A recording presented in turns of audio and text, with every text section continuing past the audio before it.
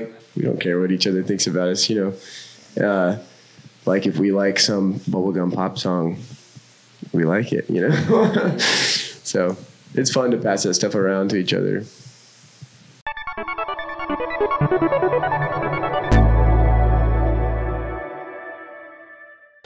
Hi, I'm Michael Eliran. I'm five foot ten, and we're here in the studio at Superchief with Future Crib. How you guys doing? We're doing great. Would you like to just quickly, uh, Jake, quickly say your names, just so that the audience may be familiar? Um, my name is Zach. I play guitar. Yes, and what you do. Yeah. My name is Johnny, and I sing. My name is Julia, and I play the bass. My name is George, and I, I play the drums. My name is Bryce, and I play the guitar. They've been playing a couple shows in New York, and they are on tour for a good long while. How long are you guys on tour? 20 days? How's it been? It's been really good. We have had a really good time in every city. You know, it's it's fun meeting new people every night and maybe seeing some friends you've met before. Sometimes we've been to a couple of these cities multiple times. It's our first time in New York uh, playing music, and it's been really enjoyable. That's awesome. How many days do you have left? We have a little less than a week left. It's uh, I think we have six. We're touring with Modista Freeze, and uh, Shouts out. we're kind we're backing him up on this tour, and he's uh, done most of the booking, and he's a true powerhouse of a person. Shouts out. Shouts out. I really get the sense that you guys don't argue that much, you know? Am I right on that or am I wrong on that? I think you're right. I don't I don't ever find us arguing and if we if things start to like get weird, we sense it immediately and diffuse it. We we tend to just talk it out and be open with each other on what we're feeling about, you know, whether it's like personal lives or what we're feeling in the music and everything. We just open dialogue is kind of the key and it's kind of frivolous to to stew that up and, and also just arguing outwardly is is really not any of our personalities, you know, just like I don't know. We're all just really honest with each other. Yeah. 'Cause For the most part, we've known each other for a really long time. So it's just, it's easy to kind of diffuse the situation. yeah. I was gonna ask what are some of your like habits or rituals or things you do to kind of keep yourself calm and sane. So that answered a few of them. I was wondering if anyone had anything particular to them that they wanted to share. I, I started reading books, bought a bunch of books. Um, just started into the wild. It's about an adventure you took, and I thought, hey, I'm taking it kind of an adventure right now. Might as well. Not as, me.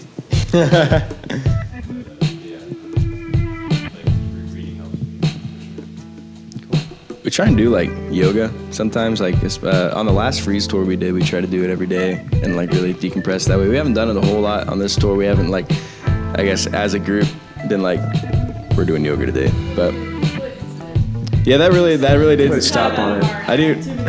I tend to work out like sometimes just do calisthenics and stuff to kind of kind of keep me fresh and everything. Within that, like stifled that. I brought like a jump rope and do stuff when I can when there's space. But that's that's kind of a personal thing for me. It's just like every morning or every night, just kind of like taking some time and stretching out and doing some exercises and stuff. It really keeps me fresh. I like to do that, but Well, you look great. Oh, that's where I do it. flex. Do you guys collaborate when you're working on Future Crib stuff, or is it mainly Johnny, or, or how does it how does it work? And my my favorite bands I listen to are bands, you know, who are who are hanging out and collaborating together. And um, there's an element of freedom that comes with doing things all on your own, but there's also an element of frustration. And you can go down the rabbit hole really quick and get too frustrated and just want to throw it out the window. But with a group of people, all you know, emotionally invested in the same thing, um, it's kind of hard to get bogged down on one thing because everybody is pushing each other in different directions, you know. So so the final product feels way better to me when when multiple people have worked on it, rather than just like me doing things for or like doing a guitar take for eight hours and then wanting to just go to bed. Do you think there are artists that you all really are inspired by as a unit?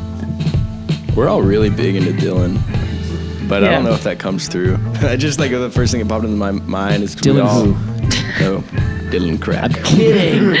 uh, yeah, we're, we're every time like we're in the van, we're like, you know, sometime we're listening to a Bob Dylan record or we're talking about one, or like we're all just like pretty into it, but I don't know how much that translates into what we do. But that's just what came into my head when you mentioned it. Anything that we all share, but We're also all, I would say, like pretty big into like Wilco, and Johnny's on an Animal Collective kick right now, which maybe he would like to talk about some.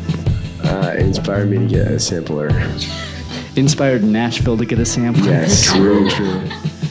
I think uh, Bryce talking about Bob Dylan. I think the thing that inspires me the most about Bob Dylan is his willingness to to do anything he wants to do with his songs. Because ultimately, if you created something, it's yours. It's yours to destroy. It's yours to uh, revise. You know. So we we really like to especially when we play in town a lot in Nashville and we have maybe two shows in a week or two shows in a month. Like one show, we'll play, everyone's got a guitar and there's like three guitars and it's loud and it's like punk. And then the next show will be, you know, we've got four people on stage and we've got an acoustic guitar and a melodica it's very, it's a folk set and, you know, finding ways to change the way that the songs are delivered to make it interesting for people who see you multiple times. Because if someone comes to two shows and sees the same set twice, then they're probably less inclined to come to the next one. You know, and it's Yeah. fun for us. Have you guys found yourself indulging in any guilty pleasures on this tour? Whether it's like whoever's like, you know, got the aux cord in the car or whatever. Got any guilty pleasure listens? I like to think that none of us have uh, any real guilty pleasures. that's what I was Like- about to say. like uh, you know things that we enjoy listening to we're generally we don't really care what the perception of a certain type of art that we consume may be because we enjoy it you know and we're all really good friends so like we don't care what each other thinks about us you know uh, like if we like some bubblegum pop song we like it you know so it's fun to pass that stuff around to each other Damn, you really just turned the tables on me there. Gotcha this time, man. Yeah, we've been asked that, and sometimes we just talk about it. and We're like, yeah, I mean, I've been listening to this this weird thing, but I like it, and I, I'm not afraid to admit it. I guess. But I think that being on the road and just being in a band or pursuing music in general is a very unstable life and it's very turbulent. And I think it finds you going place to place to place to place without really uh, like finding a sense of settling down or stability. So my last question for you guys is uh, for each of you. So you all have to answer it, you know, one by one. Uh, what do you envision your future crib looking like? Thank you. My future crib, hopefully, will be my granddad's farm. I think I'm gonna move there one day and uh, have a big garden. That's awesome. uh, a hobbit hole. Very cozy, warm, wooden hobbit hole. I, I love Nashville. i it's a, a city I've just been in love with my whole life. But I think it'd be really interesting to live, like to have a space in Nashville, but have like just my, my getaway, my like secret, lovely, beautiful space, secret hobbit hole, a little bit like outside of the city, somewhere just really relax and unwind and like that's home base. You know? Yeah, I, I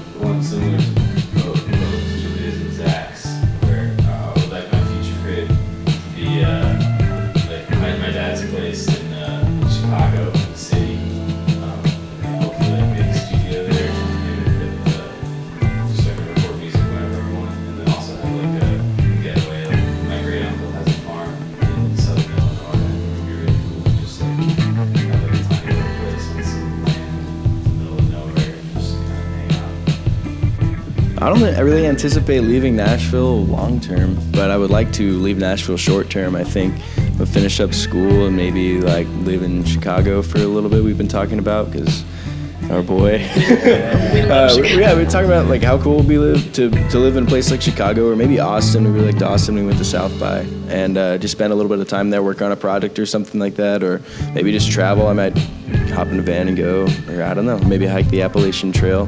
But then uh, eventually I'll come back to Nashville, I think, and at least I can't really speak for the future. I don't really like to think super far ahead of myself, just in case. But you know, we'll see.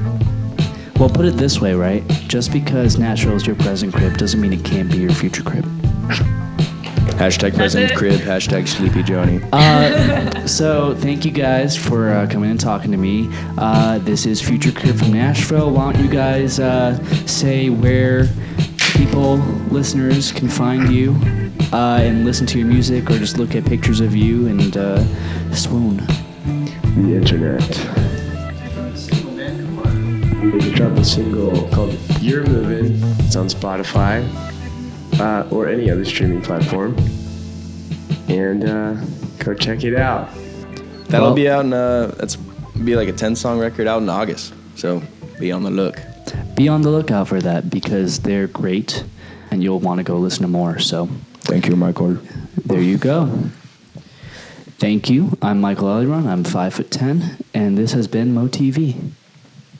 Hi, we're Future Crib, and you're watching Mo TV. Perfect.